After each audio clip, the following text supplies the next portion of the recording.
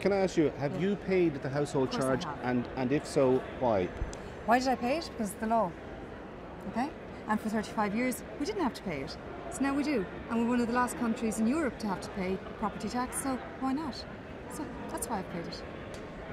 I've paid it, paid it in January because again it's the law and also we had a property tax years ago. I remember as a child there was a property tax which was abolished and if that my 82 year old father said if that was still in place what would it be now? Twice the price of what so this is not expensive. Fergal, you, have you paid the household water charge, and if so, why? I have paid the household charge, yes. I believe, like any tax, it should be paid. I, I don't like paying TV licenses, uh, but I still pay it. Uh, it's, it's, it's a tax, and that's, that's, the, that's the law. If I don't want to pay a tax, and if I disagree with something, I'll, I'll vote against uh, the government that do it. But I'm actually in favour of this particular tax. Uh, I think we need local taxes in this country, so I, I'm, I was happy to pay it. We're just inquiring, have you yourself uh, paid the household charge? I have indeed. I paid it the first week I was eligible to do it in January. Why so? Because I feel local government needs funding to maintain roads and things like that, and rates should never have been abolished back in 1977. If they were still in, in being towns of those years, we'd have a better infrastructure, than, especially in country areas and things like that. And money has to be found. The country is bankrupt, and we need the local government needs funding, and this is a way to fund it.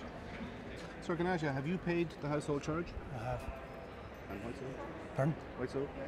Uh, the country is in an awful state, so uh, the ordinary person has to pay as well as the wealthy person, you know. So I would class myself as an ordinary five years. And you've no problem paying? Uh, It's not easy. Um, it's not easy. Uh, you could make a hundred excuses not to pay it, but uh, the country isn't in a good state, so Sir, can ask you, have you yourself paid the uh, 100 euro Yes. household charge? Yes, definitely. I see no problem with it whatsoever. Um, I think, you know, in some counties we're getting great value for it, other counties may not be getting as good a value, but by and large there is good value. I live in Kildare. We're putting in a new water sanitary abstraction system from the barrow. It will cost, it's costing 26 million. It costs 3.4 million to run it.